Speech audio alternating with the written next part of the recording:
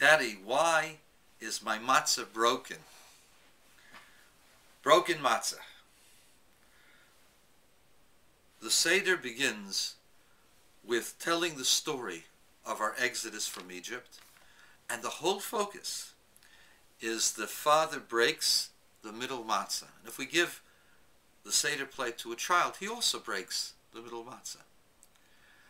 And you tell him, break the matzah. Now, this is a whole matzah. Whole matzah is something that you're supposed to say a blessing on. You're supposed to say a blessing on something whole. So why ask the child, Daddy, why does my matzah have to be broken? The Zohar explains that the second matzah is reflective of the second letter of God's name. God's name is Yud and a Hey and a Vav and a Hey. Second letter of God's name is a Hey. The Hey, let me make it for you, looks like this. It looks like a Dalet and a Vav. This is the Dalet and that's the Vav. And together they make Hey. And the Zohar explains that the Vav is removed from the Dalet and that creates bitterness. And that's why we commemorate the whole story of the Haggadah on the matzah, which was reflective of the Hey of God's name. And this is the source of our bitterness. So what exactly does that mean? Why would that be the source of our bitterness? The Zohar goes further and explains that the life of a Jew is supposed to be the Torah. And when a person struggles physically, the person is also struggling spiritually. As Maimonides says, if a person has pain and suffering, he can't understand things clearly. And so the laws of the Torah are unclear to the student of the Torah as long as we are in exile, we are suffering.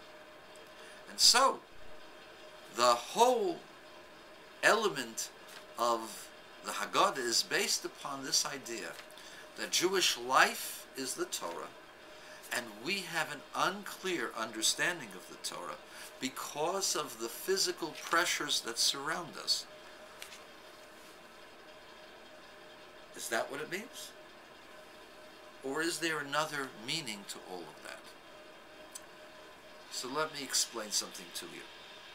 A human being has to toil. A human being must struggle. And the struggle actually elevates the human being. And the person has a choice, either to struggle with his soul or to struggle in the physical world. Even if you have all of the money in the world, if your wife and kids are miserable, then your life is miserable. If you have a horrible boss, you're upset, your life is insecure, no matter how much money you're getting. If there are struggles and conflicts and your life doesn't make a difference, how strong, how good, how successful you are, it's going to make you miserable. But a person has a choice to either struggle spiritually or to struggle physically. But we must all struggle. And the question is, why must we struggle? And the answer is as follows. Had man not struggled, had we been eminently successful with the creation of the plow, and the plow would have brought abundance of food for everyone, we would still be raising crops with a cow and a piece of wood or metal we would never have advanced to the computer technology age that we're in. We would never have created the expanse and the empires and the civilization that we have. The reason for man's advancement is because man had to struggle, and in order to overcome that struggle, man had to be creative. And so, why is the matzah broken? The matzah is reflective of the human being. The human being is always incomplete.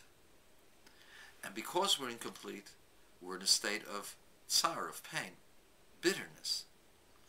But that bitterness actually is good because the fact that we know we're missing something causes us to examine and to try to find new things.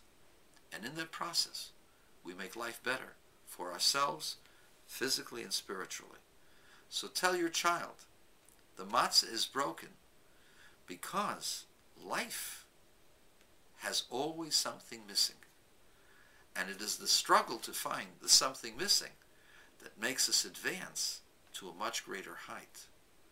And that's why the matzah is broken, the Hey is broken into two parts.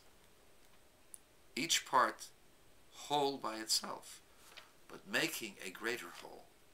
When a person looks for what he's missing, he reaches a level which is far greater than the, than the sum of the two parts. The person reaches a level of civilization, a level of understanding, a level of inspiration that is far greater than had the person been whole to begin with. By having the broken matzah, we reach a level which is far beyond what the normal whole matzah could be. Let me tell you an interesting story. I once eh, received a whole matzah from the Lubavitcher Rebbe, which today is his birthday. And for me, this was the most wonderful thing in the world. We used to wait for a piece of the matzah that the Rebbe would give for our group, and each one of us would get a little piece. And here I was, meriting to have a whole matzah, and I would be able to make a blessing over that matzah and eat it on the first night of Pesach. A guest arrived, and he told me he heard that I had a whole matzah. He was also from Lubavitch, and he also wanted matzah for his Seder. But he couldn't walk over to my Seder. He was having the Seder at his mom's house, over five miles away. And so he said to me, you're going to break the half, the matzah in half and give me half of the matzah. I didn't want to, but of course I did it. And in retrospect, I gained a lot more from the broken matzah by sharing it with somebody else than I would have had I had the whole matzah and made a blessing over it.